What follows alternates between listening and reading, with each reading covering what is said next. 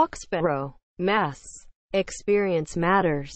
So does talent. This is why the Patriots will march on to next week's AFC Championship game. Toward a sixth Super Bowl title and second in a row and toward rewriting the NFL history books.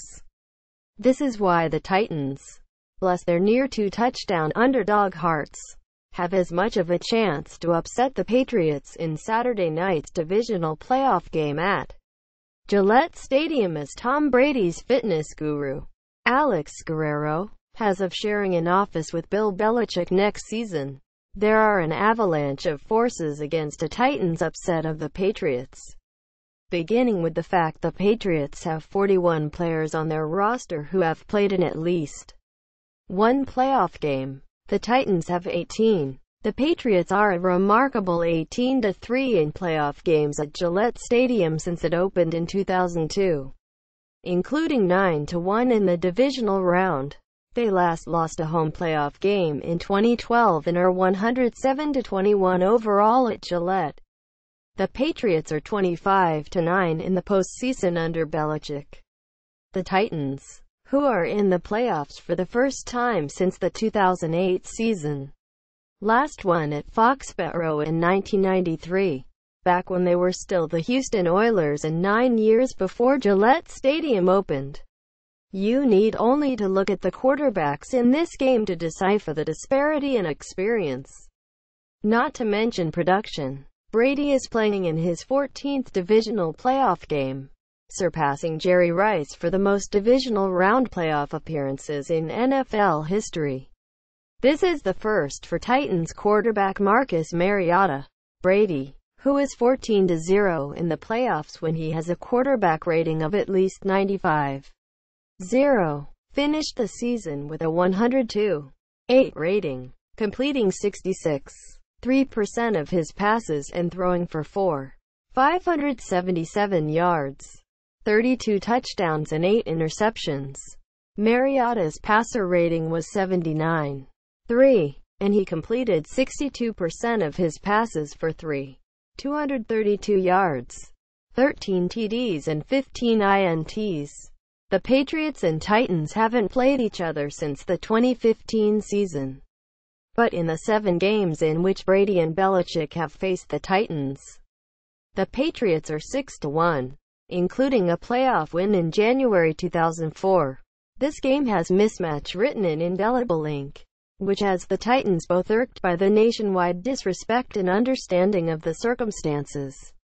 After the Titans upset the Chiefs in the wild card game last weekend to advance to this game, Boston Globe columnist Dan Shaughnessy tweeted, Titans at Gillette Saturday. Patriots first team in NFL history awarded back-to-back -back bye weeks before the AFC Championship. That kind of dismissal, as you might imagine, has not gone over well in Tennessee. I know people are counting us out, but I think this is the kind of team people make movies about. Titans tackle Taylor Lewan told reporters of the Patriots being 13-point favorites to win. Lewan said, I don't give two expletive one way or the other. It was an eight-point spread last week in Kansas City. This week it's more. So what? The Titans who overcame a 21-3 Chiefs lead to win 22-21, are listed as 80 to 1 to win the Super Bowl by some Las Vegas bookmakers longer odds than they were listed in some places before the season began. How many teams are left in the playoffs? And we're 80 to 1. Titans linebacker Derrick Morgan said, It doesn't surprise me. You have to earn respect in this league. So you can't just get respect off of one road playoff win.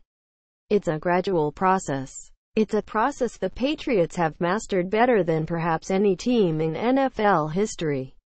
Because their coach and the leaders he builds his teams around don't allow complacency to seep into the locker room. I don't think our team has ever read and believed the hype. Brady said during his weekly WEEI Boston radio appearance. We feel like we've had to go out and earn it. We've tried to do that all year. I think there has been a lot of hype surrounding our team all season.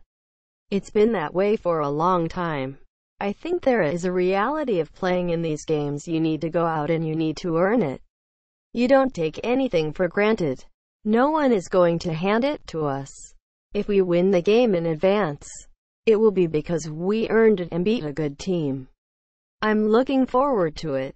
Special teamer Matthew Slater Another of the Patriots' key locker room leaders downplayed the huge experience advantage his team has, parroting what Belichick has told his players. It's not about playoff experience. It's about playoff execution, Slater said. It's not about how many games you've played in. It's not about what you've accomplished in the regular season or over the course of your career. It's about executing Saturday night. Foxborough Stadium. Gillette. Fans loud, cold. It's about executing.